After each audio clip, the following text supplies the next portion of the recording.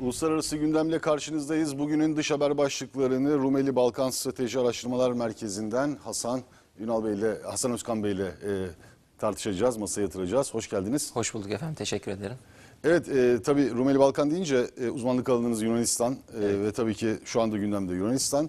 E, Birçok başlık var Yunanistan'la ilgili. Dünkü Korsika'daki zirve, NATO toplantısı, Yunanistan'ın bunu inkar etmesi, Ege, Akdeniz'deki gerilim, hatta Libya kadar uzanan bir e, coğrafyada e, tansiyonun dorukta olduğunu görüyoruz. Bunları konuşacağız ama yine Yunanistan başlığı altında çok da fazla Batı'nın görmediği, görmezden geldiği, görmek istemediği, yok saydığı bir hadise var. Üç gün önce Midilli'de Avrupa'nın en büyük göçmen kampı yandı Maalesef doğru. Evet. ve küle döndü. Haritadan silindi ve orada 13 bin göçmen ortada kaldı. Bugün de sabahtan itibaren o insanlar sokaklarda Midilli Adası'nda ki çok kısıtlı bir alana sıkıştırılmış durumdalar. Evet. İşte otellerin olduğu, yazlıkların olduğu bölgelere falan geçmelerine asla izin verilmiyor.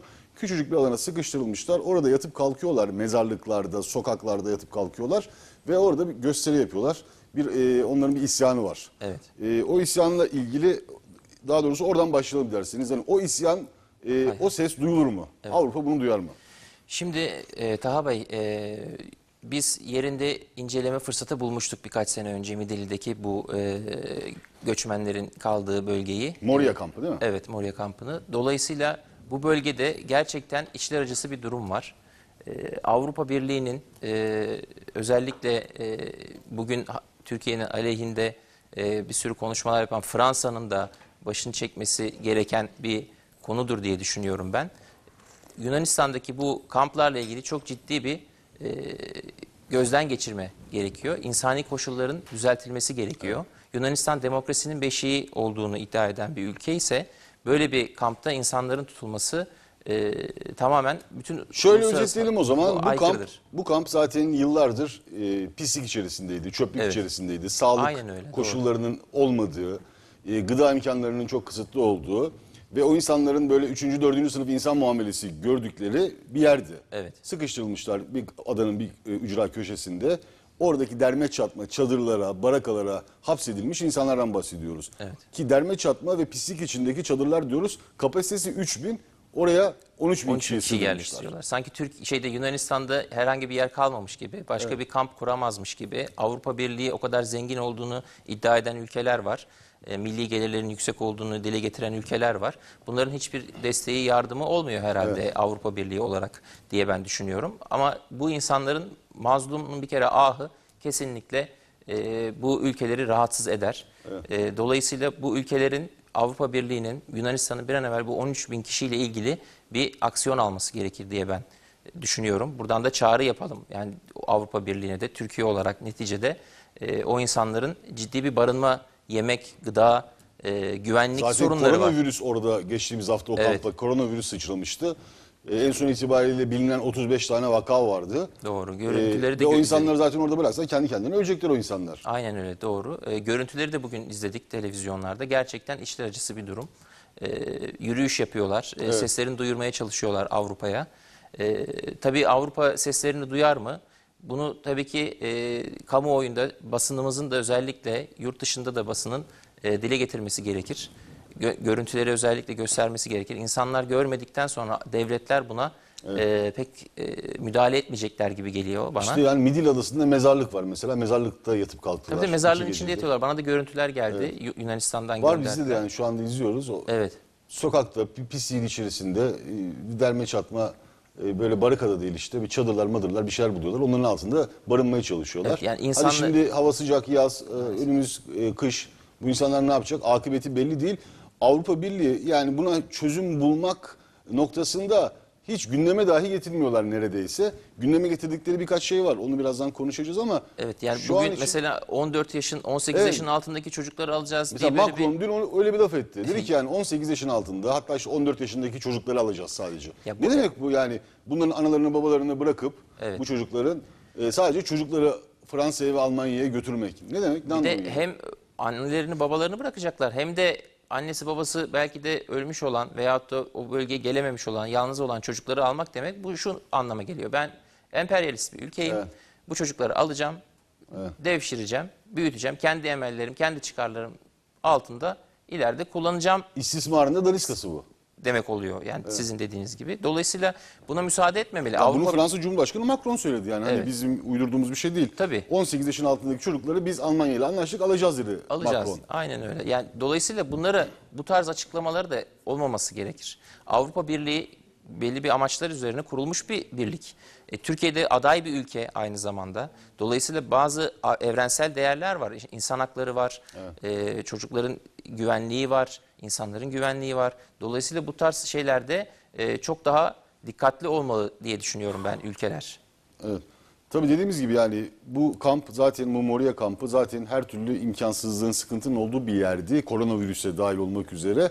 Ama şimdi o da kalmadı. Yani hani çöplük içerisinde de olsa yine başlarını sokacakları bir yer vardı bu insanların. Şimdi o da yok. Şimdi o da yok Son dediğiniz çadıra gibi. kadar hepsi yanmış. Evet, çok enteresan. Bir de yani o bölgenin tamamen komple yanması da çok ilginç. Ee, bunun arkasında tabii Yunanistan'ın ciddi şekilde araştırması gerekir diye düşünüyorum ben. Eğer araştırma yoksa da burada bir suistimal e, ihtimali ortaya çıkıyor. Ya Dolayısıyla bu, bunu çünkü orada daha önce birçok kez ırkçıların oraya yönelik saldırıları oldu. Yunan ırkçıların Tabii. saldırıları oldu. Evet. Bu kez de işte belki Altın Şafak yaptı bilmiyoruz. tabii bilmiyoruz. Belki işte- Bunları araştırması gerekir. Yunan devleti polisiyle, bütün e, kurumlarıyla bu konuyu açıklığa kavuşturması Şimdi gerekir. kampın özelliği ne peki? Oraya 13 bin kişiyi tıkmışlar Yunanistan. Evet. Avrupa Birliği'nden bir fon alıyor hesapta oraya, e, orayı harcamak için. Onda pek harcadığı yok zaten. Evet yani Ama harcasa nedir? öyle olmaz zaten yani e, şeyde öyle bir kamp parayla parasız ancak öyle bir kamp yapılabilir yani. Aynen. E, o zaman Yunanistan'ın görevi ne burada? Avrupa Birliği'nden para karşılığı aldığı görev bunları buraya hapsetmek, tıkmak, Avrupa'ya geçişlerini önlemek. Önlemek. E şimdi bu insanlar ne olacak? Avrupa'ya e, geçme ihtimalleri olabilir. Yunanistan burada bunu koz haline getirir mi Avrupa Birliği'ne karşı? Şimdi şöyle geçmiş dönemlerde hep baktığımız vakit e, Yunanistan bu tarz şeyleri koz haline getirip işte Avrupa Birliği'nden fon almak olsun, hibe almak olsun, hibe özellikle işte silahlar olsun, e, Mesela askeri... Fransa'dan savaş uçağı alıyorlar. Paraları yok. Evet. Ya da ne bileyim işte doğalgaz projesi yapacaklar İsrail'le birlikte. E, buna yetecek parası yok Yunanistan'ın. Ya burada tabii ki ihtimaller hep insanın aklına geliyor. Ee, Yunanistan'ın bu davranışlarıyla ilgili de. Ee, bizim de aklımıza gelen şeyi tabii ki dile getirmekle biz de mükellefiz.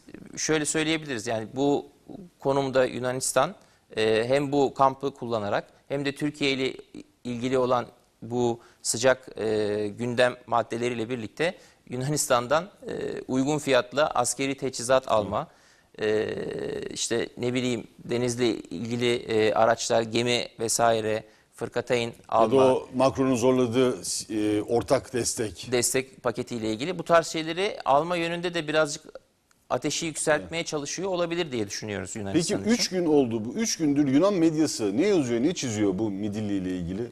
Yunan medyası e, bu Midilli ile ilgili çok fazla e, maalesef şey göstermiyor, e, ilgi göstermiyor. Çünkü Yunanistan'ın e, Avrupa Birliği nezdinde e, mültecilere davranış biçimlerini pek gösterme taraftarı değiller. E, dolayısıyla biz bunu yurt dışındaki diğer e, basın kuruluşlarından, Türkiye'deki basın e, kuruluşlarından öğrenmek durumunda kalıyoruz. Dolayısıyla o bölgedeki e, yaşam koşullarının e, kötülüğünü e, göstermemeye gayret gösteriyorlar Yunanlılar. İşte en kötü haliydi. Şu o, o bile yok yani. Şimdi Ona yok, bile yok, muhtaç bıraktılar. yok, yok halini nasıl yapacaklar, Evet. nasıl gösterecekler artık onu Normalde bekleyip göreceğiz. Normalde e, çok önemli bir gündem teşkil etmesi gereken bir hadise bu ama e, Batı dünyası çok net bir şekilde görmezden geliyor burayı. Evet. Ben şu ana kadar dediğiniz gibi işte yani Yunanistan'dan da bir, bir şey duymadık yani bununla ilgili. Avrupa'dan e, neredeyse hiçbir şey duymadık. Yani Macron'un çocukları alacağız. İşte bir grup işte Almanya'da e, alalım bu insanları falan diye bir cılız bir ses. Alman medyası onu şişire şişire veriyor. De, hani sanki birileri alacak da yani. Ya Ha, bana, biz doku- istiyoruz bana noktasında. dokunmayan yılan bin yaşasın diye bir e, tabir var biliyorsunuz. Maalesef Avrupa'daki bazı ülkeler, büyük ülkeler diyelim, Fransa gibi, Almanya gibi vesaire, e, bunlarla ilgili yeterli adımı, desteği vermiyorlar. Onlara Atmazlar. gelmedikleri müddetçe diyorlar ki yani ne olursa olsun. 2015 yazında yaşanan hadiseler vardı tabii. Suriye'den kalkıp e, Türkiye üzerinden Avrupa'ya geçmeye çalışan, geçen ama hani geçtiğine bin pişman edilen Evet. Suriyeli mültecileri, Suriyeli göçmenleri görmüştük. Orada da yine ilk durak Yunanistan'dı ve başlarına gelmeyen hadise kalmamıştı. Macaristan'a kadar ulaşmışlardı. Yani yemedikleri dayak, e, işte görmedikleri işkence kalmadı. Hapsedilenler oldu. Sınırda ölüme vurulan, terk edilen- sınırda vurulanlar edilenler oldu, Evet. öldürülenler oldu, Oldu. dayak yiyenler oldu sizin dediğiniz gibi. Hani Türkiye orada bir şekilde bir pansuman oldu Avrupa Birliği ile yapılan bir anlaşma var ama o anlaşmaya da Avrupa Birliği uymadı. Evet. An, Taahhütlerini yerine getirmiyorlar. Hala taahhütlerini yerine getirmiyorlar. getirmiyorlar. Bir vize serbestisi olacaktı Türkiye ile Avrupa Birliği arasında. Tabii o konuyu da duymazdan geliyorlar, görmezden geliyorlar. Sayın Dışişleri Bakanımız Mevlüt Çavuşoğlu dün akşam çok güzel bir e, konuşma yaptı. Orada da dile getirdi. Yani biz bütün taahhütlerimize uyduk dedi. Avrupa olarak siz neden uymuyorsunuz diye sorduğunda buna bir cevap yok. E, Dolayısıyla buna cevap vermeleri gerekiyor Avrupa'nın e, Türkiye'ye. Türkiye bütün e, şartları yerine getirdi. Meclisinden kararlarını aldı. Anlaşmalara uydu. Fakat Avrupa Birliği hem e, maddi destek anlamında eksik bir me- meblağdan bahsediliyordu. E, Üstüne düşen görevleri yapmadığı ile ilgili hem de vize serbestisi vesaire konularda gereken e, adımları atmadı. E, Şimdi hep Türkiye'den bekliyorlar bu tarz şeyleri. Türkiye bugüne kadar hep Avrupa Birliği aday ülkesi olduğu için işte hadi biz taşın altına elimizi koyalım, biz birazcık daha iyi niyet gösterelim gibi böyle bir takım şeyi vardı Türkiye'nin. Fakat şimdi artık bıçak kemiğe dayandı. E, Türkiye'nin de netice itibariyle e, haklı olduğu durumlar, pozisyonlar var. Dolayısıyla Yunanistan ve Avrupa Birliği nezdinde Türkiye'de bu haklılıklarını artık her mecrada, her toplantıda e, yüksek perdeden, yüksek sesle dile getirmeye başladı. Evet. Şimdi dünkü Korsika'da bir zirve yapıldı. Fransa ev sahipliğinde. Korsika Fransa'ya bağlı. Macron orada Akdeniz'e kıyısı olan Avrupa Birliği üyesi e, kendisiyle beraber 7 ülkeyi topladı. 7 ülkenin liderlerini topladı. Macron'a dahil olmak üzere. 6 ülkenin lideri artı Macron. E, Macron'un ev sahipliğinde toplandılar ve açıkçası bütün hadise şu. E, Macron biz, bizzat kendisi bütün yaşanan Akdeniz'deki Ege'deki gerilimle ilgili böyle bir çatıya bir tabela çaktı en tepeye. Dedi ki problem Türkiye'dir. Ve altını da kendi kafasına göre doldurdu. Bir problem Türkiye'dir ama biz diyalog istiyoruz. Problem Türkiye'dir ama biz e, Türkiye ile iyi ilişki istiyoruz. Problem Türkiye'dir o yüzden Türkiye sondajı durdursun. Problem Türkiye'dir o yüzden Türkiye donanmasını çeksin. Ve en nihayetinde diyalog çağrısı. Yaptılar. Yani evet. kimi kandıracaklarını düşünüyorlar size göre? Şimdi şöyle, e, bence Türkiye'nin uluslararası hukuktan doğan haklarının, anlaşmalardan doğan haklarının hepsi farkındalar. E, Türkiye bu dönemde hiçbir zaman e, belki de eline geçmemiş fırsatlar var Türkiye'nin. Bu fırsatları çok iyi değerlendiriyor Türkiye e, ve iyi değerlendirmeye de devam edecektir diye ben tüm Ne kalbimle gibi mesela inanıyorum. yani ne gibi fırsatlar? Şöyle, e, uluslararası hukuktan dolayı bir kere e, Doğu Akdeniz'de e, enerji, çok ciddi bir enerji var. E, işte petrol olsun, hidrokarbon yatakları olsun vesaire e, denizin altında. Kaddafi döneminden bu yana süre gelen bir süreç vardı. Türkiye-Libya arasında deniz yetki sınırlandırması ile ilgili bir anlaşma. E, bu anlaşma Seraç hükümetiyle birlikte e, devreye girdi. Türkiye'de Sayın Cumhurbaşkanımız da çok önemli bir e, adım atarak bu işi başardılar Türkiye'nin e, lehine. Dolayısıyla bu başarıdan sonra e, tabii Libya demek aslında Afrika'ya çok ciddi olarak bir giriş kapısı demek. Dolayısıyla Libya'daki ve Afrika'daki e, ağırlığını Fransa kaybetmeye başladı Suriye'den sonra. Suriye'de tabii Türkiye çok başarılı operasyonlar yaptı. Adeta bir cerrah edasıyla e, çok ciddi bir e, soruna neşter attı orada o bölgede. Dolayısıyla orada Suriye'de e, aldığı e, tabiri caizse yenilgiyi diyebiliriz Fransa için. Bunu Libya'da yaşamak istemiyordu. Libya'da da ve Afrika'da da bunu artık yaşamaya başladı. Afrika'daki diğer ülkeler de Türkiye'ye ya bize de gelin, bize de yardımcı olun. Mesela Bizi- Sayın Ça- Çavuşoğlu'nun bir Afrika turu var. Tabii. Şu an halihazırda devam ediyor. Evet, Fransa'nın çok ciddi anlamda e, sömürge olarak kullandığı ülkeler bunlar. E, işte enerji kaynaklarını e, yok pahasına aldıkları vesaire bir sürü olayla e, karşılaşıyoruz tabii Afrika'da. Dolayısıyla Türkiye bu konuda neş- bu konuda da Afrika'ya da neşteri atınca Libya üzerinden ve deniz yetki sınırlandırmasıyla birlikte Fransa adeta çılgına döndü Macron. E, aslında e, Fransa orada bir herhangi bir kıyısı yok, herhangi bir e, hakkı hukuku yok.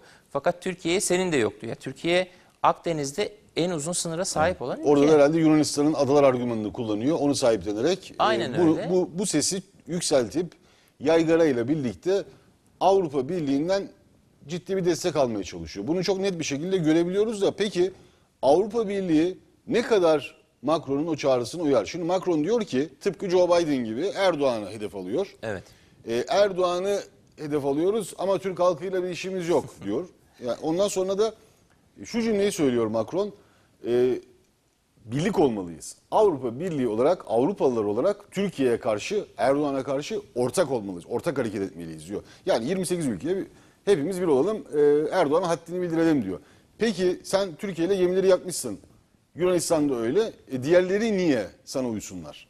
Uyarlar mı size göre? Şimdi şöyle, e, bence uymamaları gerekir ve uymayacaklarını ben e, düşünüyorum. Şöyle ki, bu işin biraz daha tabii e, başına doğru gelmek lazım. E, nasıl başına gelmek lazım? E, Fransa dediğiniz gibi Yunanistan'ın adalar argümanını kullanarak e, o bölgede bir e, hakimiyeti Yunanistan üzerinden ele geçirme Evet. sevdasında. İşte Total'in orada bir takım e, şeyler yapmasını istiyor. E, enerji kaynaklarında söz sahibi olmasını istiyor. Kendi ülkesinin enerji şirketinin. E, dolayısıyla o bölgede o enerjiden uzak kalmamak adına Yunanistan'ı kullanmaya çalışıyor. Fakat Yunanistan'ın da bence buna izin vermemesi gerekir diye düşünüyorum. Ben bir tarafta bir yerde bu işin e, geri dönüşünün olacağını düşünüyorum. Ki nitekim Macron da zirvesi sonrasında tekrar Türkiye ile iyi niyetli ilişkiler kurmak istiyoruz diye bir açıklama yapıyor. Evet. Avrupa Birliği İşte ama şimdi Türkiye'yi problem oluşturan taraf olarak yapıştırıyor. Evet. Sonra diyor ki yani Türkiye ne kadar sorun çıkarsa da ne kadar e, hukuksuzluk yapsa da ne kadar böyle her türlü haylazlığı yapsa da tamam biz yine de Türkiye ile iyi anlaşmak istiyoruz. Yani Macron'un dediği bu aslında. Evet. Ya Macron dediği şu ben Türkiye ile acaba bir kapı aralayabilirsem oradaki enerjiden bana da bir parça pay düşer mi? Evet. Yani işin e, Bir taraftan da bir taraftan da hesabını. bunun Evet. hesabını yapıyorlar. Dolayısıyla e, işin sonuna doğru Yunanistan mı e, Türkiye mi diye bir karar vermek durumunda kaldıklarında e, siyasi destek ayrı bir şey. Fakat enerji konusunda da e, çıkarları doğrultusunda devletler çıkarları doğrultusunda hareket Tabii, ederler. tabii. Dolayısıyla Fransa'nın da çıkarları neyi gerektiriyorsa ben işin son raddesinde Türkiye'ye bir e, kapı aralamaya çalışacaklarını görüyorum buradan. Tabii ki Avrupa ülkeleri buna ne der? E, Avrupa ile ilgili Macron'un tabii bir de şöyle bir hayali var. Napolyon olmak istiyor kendisi. E, bir Avrupa ordusunun kurulmasını istiyor. Bu Avrupa ordusunun da başında Fransa'nın ve kendisinin olmasını istiyor. Böyle bir hayali var bizim gördüğümüz kadarıyla. E, basından da yakın takip ettiğimiz demeçleri olsun vesaire olsun. Türkiye e, NATO'da dolayısıyla NATO içerisinde Türkiye'ye bir yaptırım yapma şansı yok. Biz bunu nerede gördük? 1974 Kıbrıs Barış Harekatı'nda sonra Yunanistan NATO'dan çıktı. NATO'dan çıkınca NATO şemsiyesi altında olmayan bir Yunanistan Türkiye'ye herhangi bir te- tehlike oluşturabilir mi? Veyahut da amiyane tabirle kafa tutabilir mi? Tutamaz. Dolayısıyla ne yaptılar? Türkiye'de 80 darbesinden sonra Yunanistan'ın tekrar NATO şemsiyesi altına geri dönmesini ve Türkiye ile oluşabilecek olan e, problemlerde Yunanistan'ın e, bir aktör olarak kullanılmasını sağladılar. Bugünlere kadar gelindi. Dolayısıyla Yunanistan'ı da NATO'ya sokmalarının sebebi tekrar buydu. Şimdi Fransa da NATO'nun içerisinde, Yunanistan da NATO'nun içerisinde. NATO'dan da bir şey bulamıyorlar, bir kapı aralayamıyorlar Türkiye'nin aleyhinde. Dolayısıyla ne yapmak istiyorlar? Avrupa'da bir ordu kurulsun. Avrupa'da zaten Türkiye'yi de Avrupa Birliği içerisine almıyoruz. Dolayısıyla biz Avrupa olarak, Avrupa ordusu olarak Türkiye'ye baskı uygulama şansını yakalarız diye ümit ediyorlar. Bir ümitleri de herhalde Joe Biden'ın Amerika'da seçimlerde başkan olması. Başkan olduktan sonra da Avrupa ordusuna ve Avrupa Birliği'nde Macron'a destek vereceğini ümit ettiklerini birçok e, Biden verir mi o desteği? Şimdi Trump e, Recep Tayyip Erdoğan'ı e, Recep Tayyip Erdoğan'ı biliyorsunuz e, Sayın Cumhurbaşkanımızı şey olarak aldılar, hedef olarak aldılar. E şimdi aynı hedefi Macron da aldı. Evet.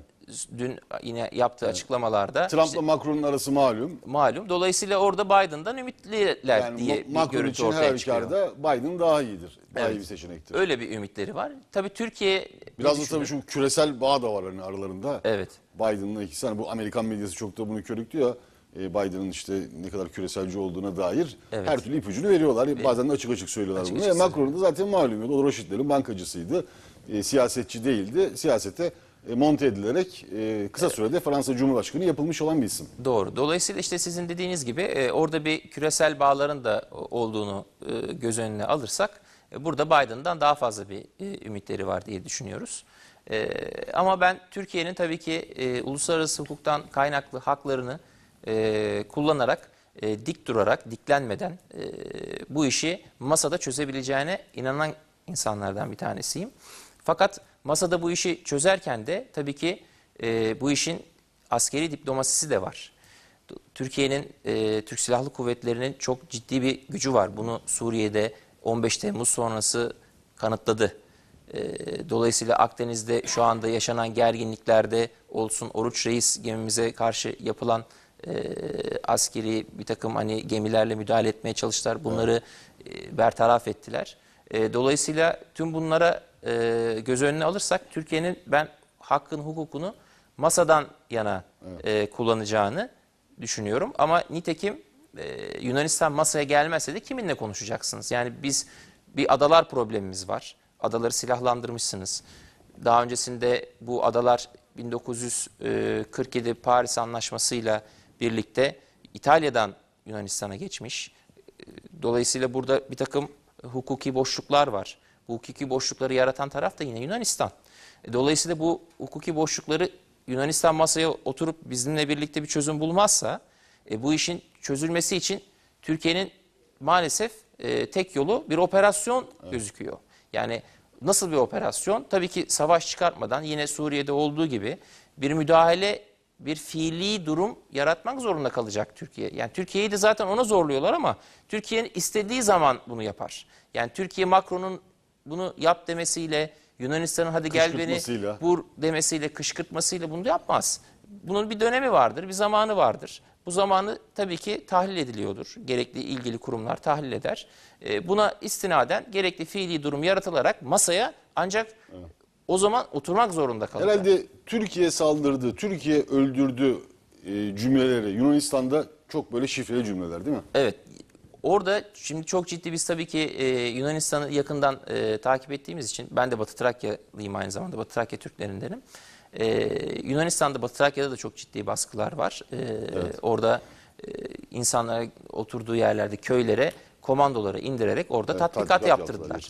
Yani çocuklar kapıyı açtığında sabah e, komandolarla karşı karşıya geliyorlar. Dolayısıyla bu baskılar e, tam bir aslında bir asimilasyon politikası bir taraftan bakıldığında. Bugün orada 150 bin Türk'ten bahsediyorsak normalde akademik Yani çalışmalar imamlara var. ce- cezaevine falan atıyorlar. Yani işte namazı, Tabii cenaze namaz- namazı kıldıramazsın da işte vakit namazı kıldırabilirsin falan. Ya çok enteresan yani bunları anlatsanız insanlar inanmazlar. Yani Avrupa'ya anlatıyoruz, Avrupalılara anlatıyoruz. Ya nasıl olur diyorlar. Şimdi onlar göstermiyorlar ki bunları. Onlar televizyon kanallarında bunları işlemiyorlar, anlatmıyorlar. Güllük gülistanlıkmış gibi her şeyi anlattıkları için orada Batı Trakya Türklerinin çok ciddi bir e, politika var. Bugün belki de 700 bin nüfusa ulaşacaktı. Akademik çalışmalarla sabittir bunlar. Ama 150 binde kaldı o nüfus. Bir kısmı Avrupa'ya göç ettirilmek zorunda kaldı. 65 bin Türk'ün vatandaşlığı silindi. Ya bugün o sadece onlar olsa onları 3 ile çarpın en azından 200 bin o suçu bastırmak lazım. için de Türkiye şunu yaptı, Türkiye bunu yaptı. Tabii Türkiye'ye Ee, sürekli bir suç atma Argümanıyla peşindeler. Yani sürekli oradan kendilerine müşteri buluyorlar. Müşteri hem iç kamuoyunda hem Avrupa'dan. Evet. Şimdi bir bağlantımız olacak. Ee, emekli kurmay albay Sayın Ünal Otabay karşımızda. Ünal Bey hoş geldiniz yayınımıza. Merhabalar abi iyi yayınlar diliyorum. Teşekkür ederiz. Evet dünkü Korsika'daki e, Macron ev sahipliğinde olan zirve, o zirveyi konuşuyorduk. O zirvenin olduğu gün NATO e, arabuluculuğunda e, Türkiye heyetiyle e, Yunan askeri heyetler arasında da bir e, bazı görüşmeler. Bunu Milli Savunma Bakanlığı duyurdu. Ama Yunanistan inkar ediyor. Hayır diyor biz o kimseyle görüşmedik. Biz e, Türkiye ile NATO çerçevesinde görüşmüyoruz. Geçtiğimiz hafta NATO'nun bu arabuluculuk teklifini ilk yaptığında da yine Yunanistan'ın burun kıvırdığını görmüştük. Neler oluyor NATO şemsiyesi altında?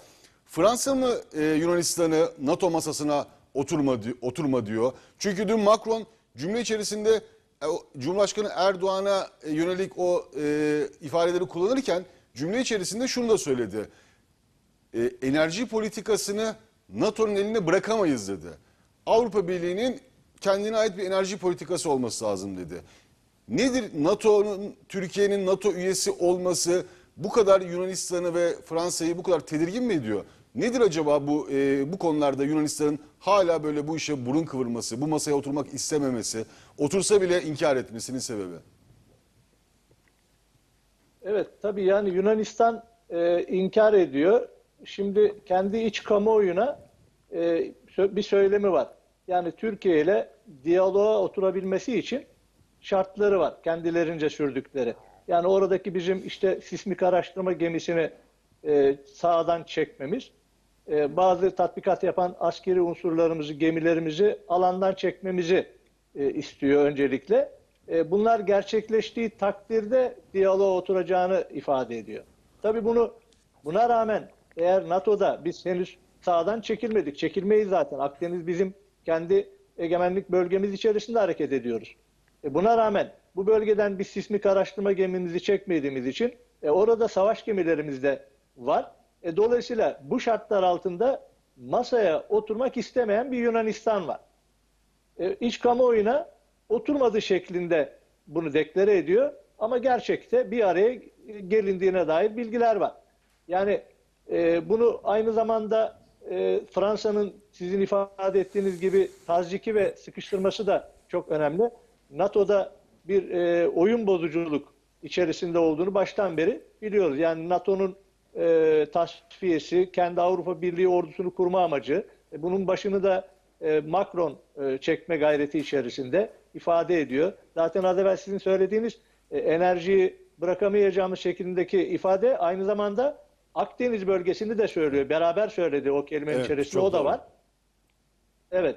Yani hatta orada söylediği e, NATO'ya yalnızca NATO'ya bırakılamayacağını o, özellikle vurguluyor. Yani bu şu demektir.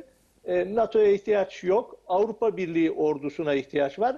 Dolayısıyla Akdeniz'i de e, kendi Avrupa Birliği gölü haline çevirmek burada Türkiye bir engel olarak görüyor, bir ayak bağı olarak görüyor, e, köstek olarak görüyorlar kendilerince. E, dolayısıyla Türkiye'nin bu alandan dışarıya çıkarılmasını istiyor. Yani Macron'un e, amacı bu. Onun için Yunanistan'ı da e, kullanıyor açıkçası.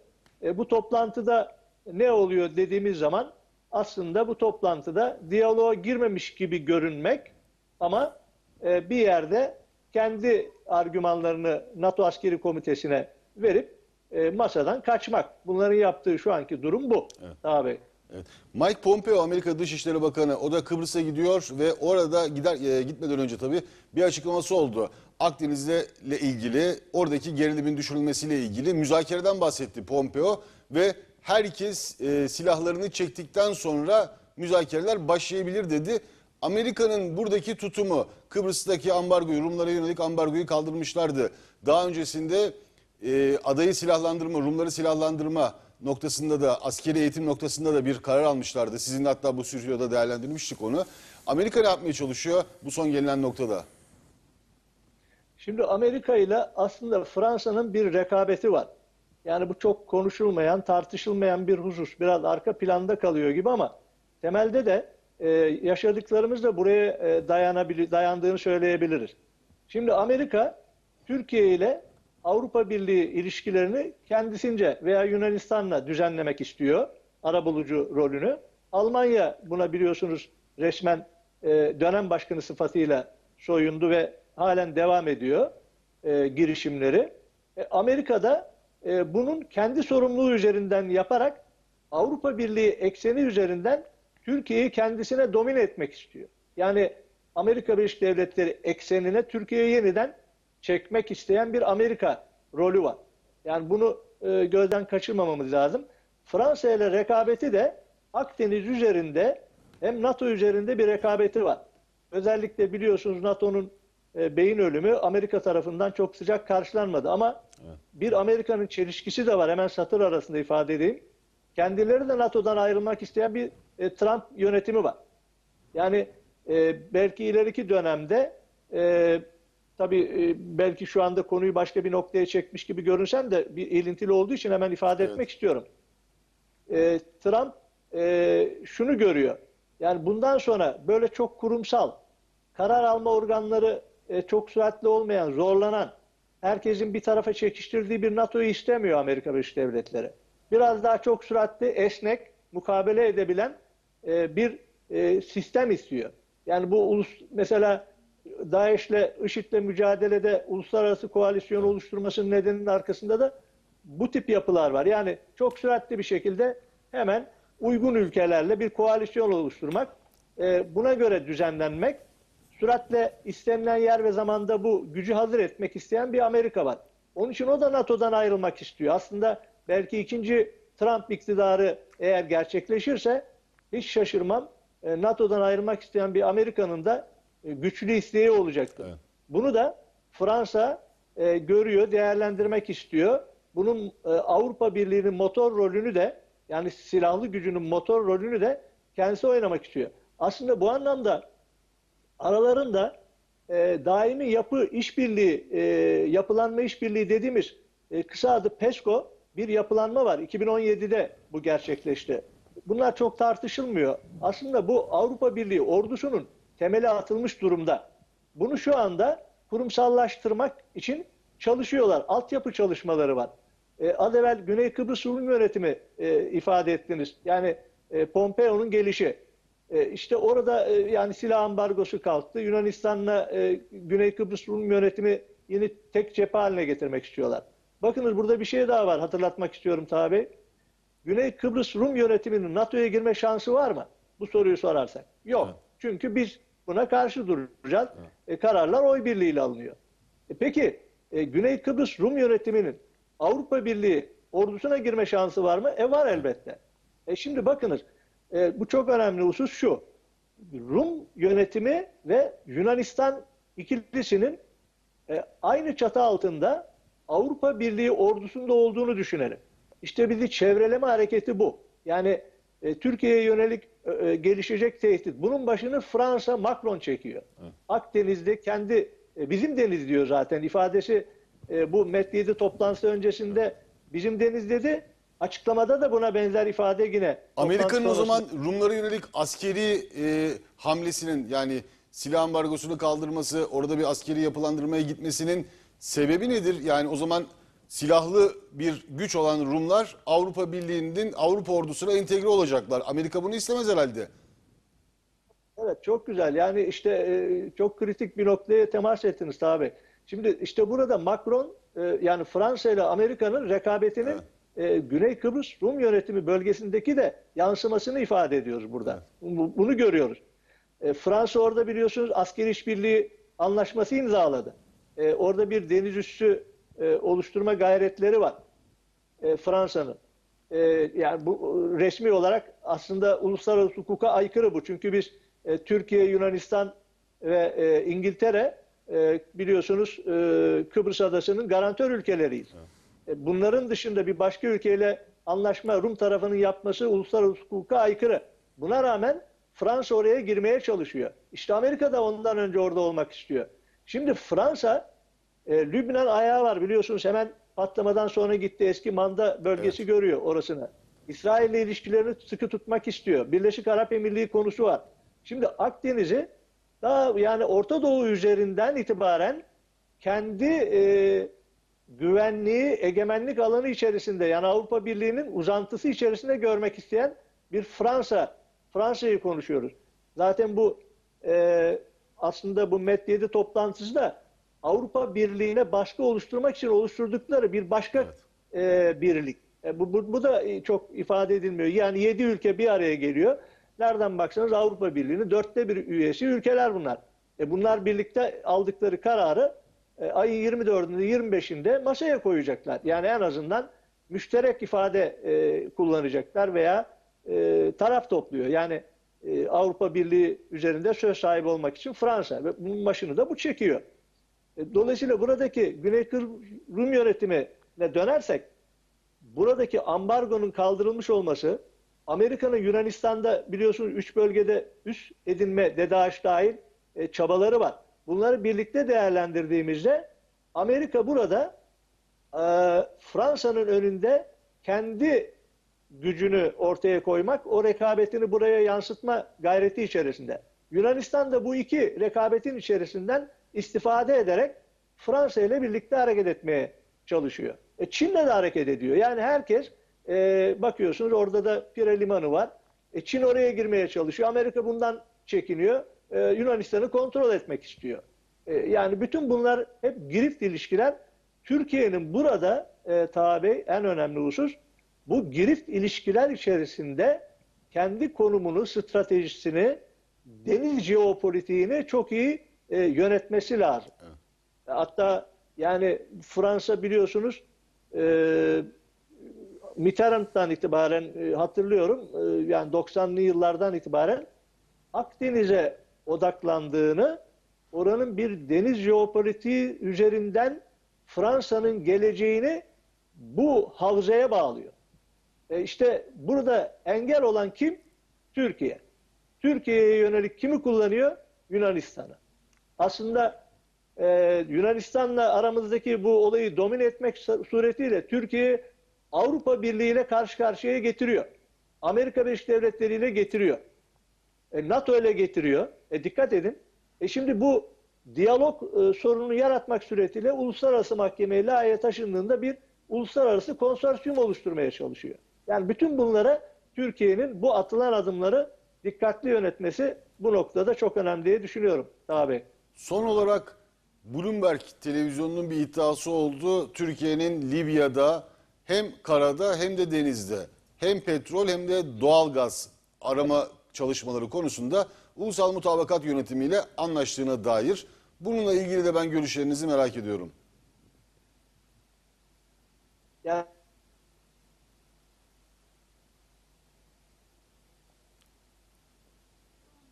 Evet bir hata meydana geldi herhalde bir arıza meydana geldi hatlarda. Evet Ünal Bey şimdi duyabiliyoruz sesinizi. e, irtibat kesildi. Evet Tekrarlar şimdi, şimdi geliyor. Şimdi Evet, geliyor. Buyurun. Buyurun. Tekrarlarsanız Evet, Libya'da ulusal mutabakat hükümetiyle Türkiye arasında bir anlaşmadan söz ediliyor. Amerikan Bloomberg TV dün yayınlamıştı bunu.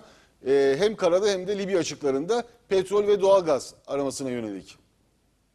Ya, Türkiye'nin diyorsunuz. Evet, Türkiye ile Libya'daki meşru yönetim arasında. E, Şimdi şöyle, e, zaten bu biliyorsunuz e, iki ülke arasında iki anlaşma imzalamıştık. Birisi deniz etki alanlarının sınırlarının belirlenmesi, diğeri de askeri işbirliği, savunma işbirliği anlaşmasıydı. E, tabii ki bu anlaşma adım adım e, peyderpey yürüyor. Zaten siz bu anlaşmayı uygulama alanına eğer dökmezseniz e, sahada, o zaman bu anlaşmanın bir mantığı kalmaz. Ve e, bunun e, uluslararası anlamda da inandırıcılığı kalmaz. Bu açıdan Türkiye bu e, anlaşmayı sahada da uygulama şeklinde göstermek istiyor. Tabii ki orada araştıracak, e, karşılıklı e, paftaları belirlemek suretiyle e, orada arama izinleri çıkarılacak. Bunlar deklare edilecek. E, aynı e, kendi kıta sahanlığımızda olduğu gibi bu alan içerisinde de e, gaz araştırması, sismik araştırmaları e, yapılacak. E, yani e, aynısı e, Libya'nın kara sahası içerisinde de zaten geçerli. Daha önceden bizim orada e, TPA'nın birçok açtığı kuyular var. E, onunla ilgili lisans sözleşmelerimiz var. E, bunların hayata geçirilmesi de zaten e, biliyorsunuz oraya e, giden Enerji Bakanımız, Savunma Bakanlarımız, Dışişleri Bakanları seviyesinde bir gidildiğinde de bu konu biliyorsunuz gündeme geldi, e, görüşüldü. Bizim oradaki şirketlerimizin e, bazı faaliyetleri var, e, projeler var. E, aynı zamanda orada e, birçok ülkenin Libya'da e, Total'den tutun e, Amerikan şirketlerine kadar Shell, bütün Hollanda şirketi, e, diğer şirketlerin orada arama izinleri nasıl İtalyan Eni şirketinin varsa e, Türkiye'nin de TPA'nın orada bir lisans sözleşmeleri var. Elbette ki o sahada biz de olacağız. E, oradaki haklarımızı da e, koruyacağız. Yani bu anlaşma e, olması gereken, e, beklenen bir e, çalışma. Evet. Çok teşekkür ederiz Sayın Atabay değerli katkılarınız için. Çok sağ olun. İyi yayınlar diliyorum. Evet, tabii, Tabii. Türkiye'nin Libya'da karada ya da denizde orada bir e, arama yapması, arama yaptıktan sonra ki yani muhtemeldir oradan da bir şeyler çıkar. Tabii, evet. O, bu denklemi biraz daha e, açıkçası hani Türkiye'nin lehine elini güçlendirerek e, karşı tarafın o saldırganlığını belki daha da arttıracak. e, denklemi değiştirecek açıkçası. Onlar adına belki gerilimi daha da yükseltecekler ama Türkiye'nin elinin güçleneceği de kesin. Evet. Şimdi. Yunanistan'da da bu arada tabii e, çıkan e, bir takım e, araç şeyleri de e, konuşmaları da dile getirmek lazım buradan. Akil insanlar, oradaki bazı milletvekilleri, bazı akademisyenler artık şunları dile getirmeye başladılar. Canlı yayınlarında olsun, yazılarında olsun. Türkiye'nin aleyhinde biz yanlış yapıyoruz Yunanistan Evet, olarak. geçtiğimiz hafta bir Evet. milletvekili değil mi? Kayınisi galiba. Milletvekili hep açıklama yapmıştı. Bazı akademisyenler de yine aynı şeyi söylediler. Biz Mısır'la anlaşma yapmak yerine Türkiye ile anlaşmamız gerekiyordu. Neden biz e, petrol arama veyahut da e, doğalgaz arama konusunda başka ülkelerden medet umalım? Bizim zaten teknolojimiz yok. Zaten bunu arayacak şirketimiz yok. Türkiye ile Türkiye'de bu var. Gemiler var, e, bu teknoloji var, bu güç var, ekonomi var. Dolayısıyla biz Türkiye ile anlaşırsak bizim daha lehimize bir ortam olur. Ama ben açıkçası yani o söylemlerin, muhalif söylemlerin Yunanistan'da yani hükümetin o anlamdaki kararlarını değiştirebileceğini, etkileyebileceğini pek zannetmiyorum. Çünkü şu an içinden geçtiğimiz süreç bu sistem e, yani alttakinin tepedekinin emrine girdiği sistemler. Yani bu herkes için geçerli. Mısır için de geçerli, Sisi, Birleşik Arap Emirlikleri için de geçerli, Evet. Yunanistan için de geçerli. Maalesef onlar emir eri pozisyonunda olan küçük e, artık böyle devletçikler halindeler. Asıl onların patronları ne derse ki bazen bu İsrail olabiliyor, bazen Fransa olabiliyor. Onların sözü geçiyor. Yani o yüzden hani Yunanistan'da belki de çoğunluk bile olsa bu ses ben hükümetin bu anlamda bilmiyorum bir şahsi düşüncem ama siz ne diyorsunuz bu konuda? Şöyle e, tabii ki şu andaki siyasi iktidarın Yunanistan'da e, bu konuda muhalifleri pek dinleyecek gibi durmuyor. Fakat şöyle bir şey var. Ünal Bey'in de dediği gibi çok önemli bir konu. E, Yunanistan çok aslında kendisi için çok tehlikeli bir oyun oynuyor. Bütün e, herkese e, gel diyor. Evet. Şimdi mesela Pire'de Çin Evet. e, limanı be- belli bir ortaklığı var Yani. Çin, Amerika, Şimdi ve Amerika- Fransa. Tabii Dede Ağaç'a 30 ki- 30 kilometreye kadar Dede Ağaç'ta bu 30 kilometre içerisinde e, Lozan Anlaşması'nın sınır maddeleri var. Bunlara aykırı orada bir üs vermesi ve bizler bunları dile getirdikten sonra basında da çok yankı bulduktan sonra bu e, Dede Ağaç'taki limanı ticarileştirip satın alma yöntemine gitmeye başladı Amerika.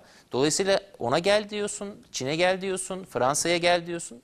Dolayısıyla işin içinden çıkamayacak bir Yarın denkleme öbür gün şu an için belki tatlı geliyor. Geliyor. Yani hepsinin ilgi odağı olmak, hepsinden Evet. işte bir şeyler koparmak para anlamında ya da siyasi destek anlamında ama yarın öbür gün bunun sıkıntısı çıkar diyorsunuz. Tabii bunun sıkıntısı çok büyük olarak çıkar Yunanistan'dan. Dolayısıyla Yunanistan bence bu konuda da e, geleceğini düşünmesi gerekir. E, halkının da geleceğini düşünmesi gerekir Evet, diye şimdi düşünüyorum. bir de bu programın bu bölümünde kısa kısa böyle dünyada neler oluyor çok kısa kısa bir göz atarak bakalım Bingazi'ye bakalım Libya'da Bingazi kenti darbeci Hafter'in işgali altında olan Bingazi'de insanlar sokağa döküldüler iki gündür eylem yapıyorlar darbeci Hafter'i protesto ediyorlar bu tarz sokak gösterileri oluyor Libya'da e, doğu bölgesinde doğu tarafındaki Bingazi kentinde. Çok enteresan. Ya Birleşmiş Milletler'in tanıdığı Serraç hükümetine destek vermiyor Fransa. Gidiyor Hafter'e destek veriyor. Yani Dışişleri bir, Bakanı'na sordular Sarraç mı Hafter mi? Buna cevap veremedi adam. Yani Veremez. sonra bakarız o soruya falan dedi. Yani bu nasıl bir şeydir? Yani sen Fransa'nın Dışişleri Bakanı olarak meşru yönetim e, gayri e,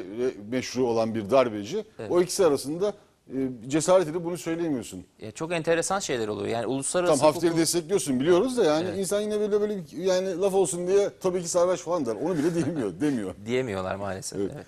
Mısır'a bakalım yine Bingazi'de darbeci Hafter protesto ediliyor. Mısır'da da darbeci Sisi'ye yönelik protestolar var. İskenderiye başta olmak üzere e, tabii İskenderiye daha büyük bir şehir. Onunla birlikte 3-4 ayrı daha ufak e, ölçekli şehirde de e, protestolar var. O da 3-4 gündür devam ediyor Mısır'da. Evet, burada tabii ki şey de var çok önemli. Ee, Yunanistan'la yaptıkları anlaşmada deniz yetkisi alanlarında Mısır'ın bir kaybı oluyor. Bunu dile getirdiler defaatle. Ee, dolayısıyla orada insanların da bu konuda bilinçlenmesiyle birlikte bu protestolar artar. Dolayısıyla siz kendi yetki alanınızdan bir kısmını başka bir ülkeye verirseniz, hibe ederseniz Ondan bunun- sonra bunu en ufak vebaline bir şeyde ki burada zaten. bir ev yıkımı oldu mesela.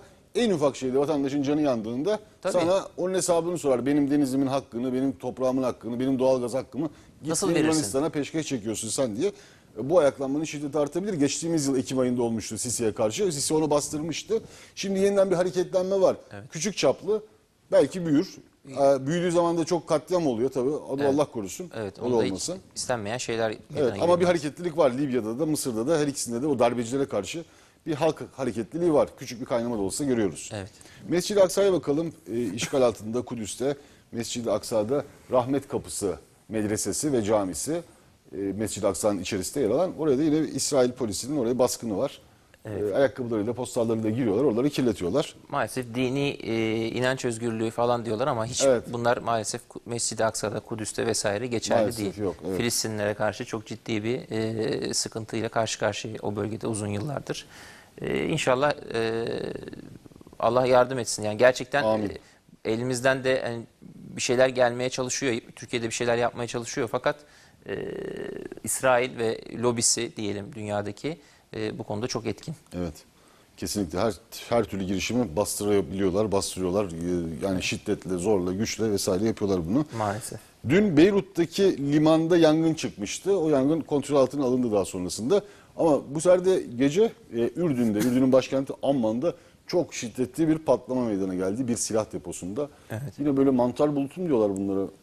Şu ekranları görüyoruz. Böylesine şiddetli bir patlama olmuş. Gece yarısı tabii Ya aydınlanmış. şimdi tabii her tarafı Yani karıştır açıkçası her hani tarafı bu- karıştırıyorlar her diyebiliriz yani. Şimdi evet. böyle bir e, olaylar meydana geldiğinde bakıyoruz e, belli bir yetki e, karmaşası yaşatmaya çalışıyorlar ülkeler Ya bu içerisinde. Orta Doğu'da bu çok fazla olmaya başladı bu patlamalar. Yani Evet.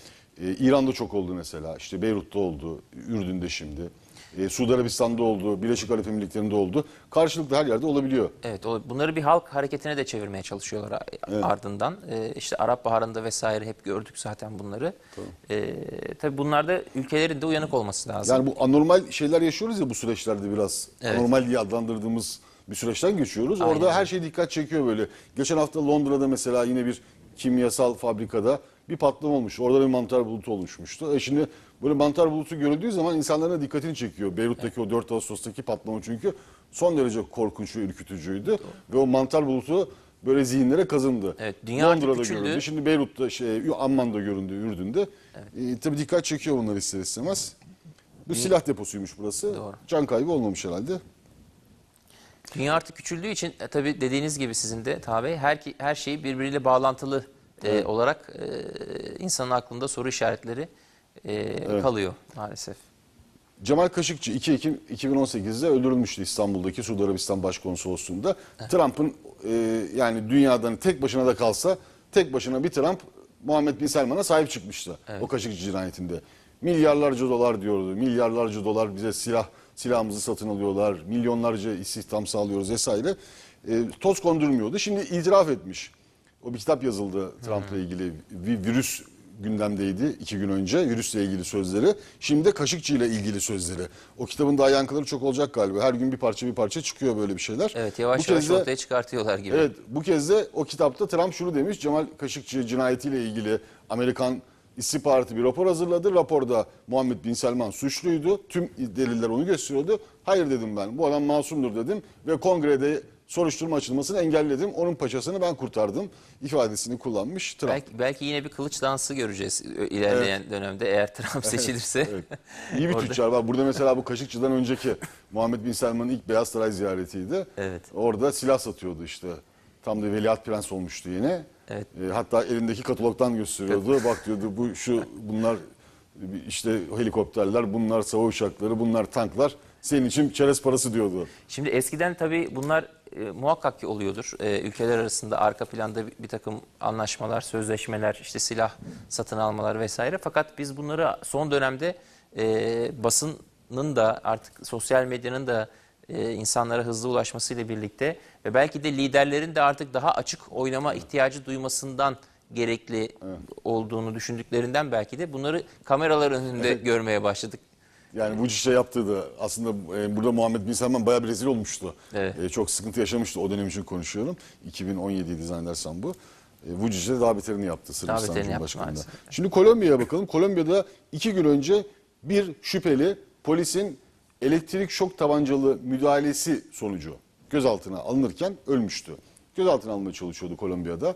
Başkent Bogota'da polisler bir zanlıyı elektrikli şok tabancasıyla etkisiz hale getiriyorlar o şahsı ve ölüyor. Evet. Sonrasında ortalık yangın yerine dönmüş. Kolombiya'nın başkenti Bogota dünden beri e, savaş alanına döndü neredeyse. Maalesef 10 bu tarz kişi. şeyleri çok görmeye başladık. 10 Amerika'da da çok görüldü. Ee, özellikle zencilere yapılan müdahaleler olsun, polislerin yaptıkları müdahaleler.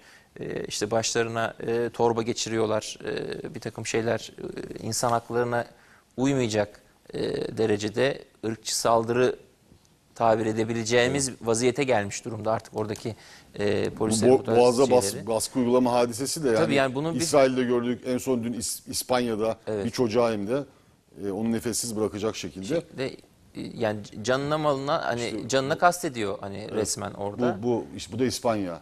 Bu tarz şeylerin hiç Ve 14 yaşında bir çocukmuş. gerekiyor bence. Maske takmadığı gerekçesiyle ya da bir başka kaynağa göre e, maskeyi yanlış taktı. Yani işte tam koruma sağlayamadığı gerekçesiyle böyle bir müdahale. Ya bunlar bunların altında ırkçı müdahaleler de olabilir. Bunları iyi e, araştırmak lazım. Oradaki çocuklara veyahut işte zencilere yönelik bunların bir takım şeyleri yaşadık, e, görüyoruz, dinliyoruz, duyuyoruz. Dolayısıyla bu tarz müdahalelerin engellenmesi için bence e, Avrupa'nın da Amerika'nın da ırkçılığa karşı çok ciddi önlemler alması gerekiyor. Milli İstihbarat Teşkilatı Ukrayna'da bir operasyon gerçekleştiriyor ve orada PKK-KCK teröristi İsa Özer adlı teröristi e, Ukrayna'da yapılan bir operasyonda Türkiye'ye getirmiş e, Milli İstihbarat Teşkilatı. Bir başka Ukrayna başlığında Ukrayna Cumhurbaşkanı Zelenski aynı zamanda e, ülkenin en önemli en tanınmış aktörlerinden bir tanesiydi.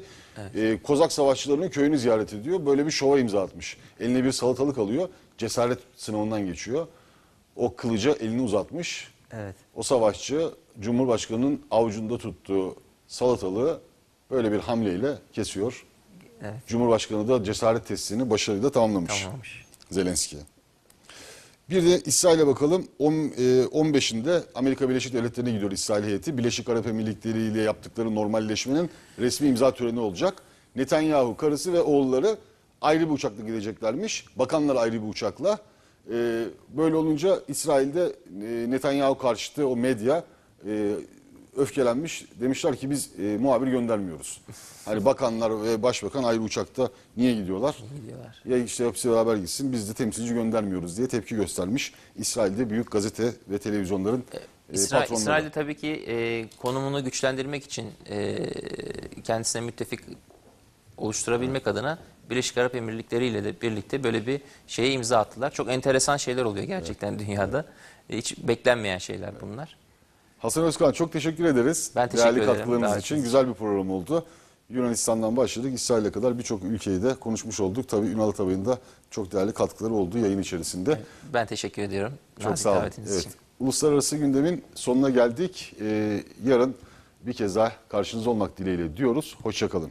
Daha fazla video izlemek için kanalımıza abone olabilir, ilk izleyen olmak isterseniz bildirimleri açabilirsiniz.